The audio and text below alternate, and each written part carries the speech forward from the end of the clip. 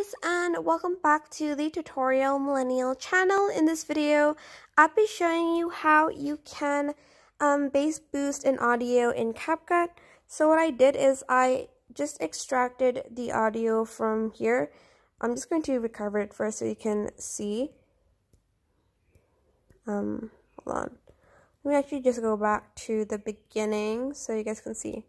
Okay i selected the clip and pressed extract audio. Then I am just going to go to the part where the beat sort of drops. For instance, here, um, I can't play the audio, but select it and press split. Select the audio that you want to bass boost.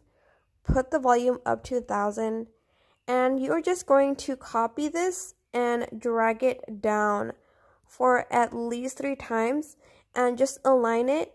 This is up to you um, how many um, audio you want to like copy. But I usually just do about three. You can even do another one. Just drag it down.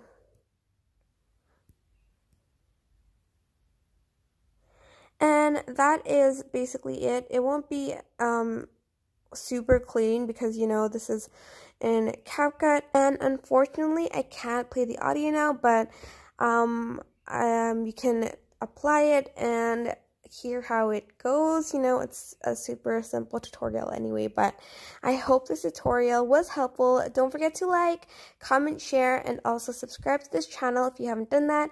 If you have any questions just leave it in the comment section down below. And I will try my best to answer them all. Thank you so much for watching. Bye!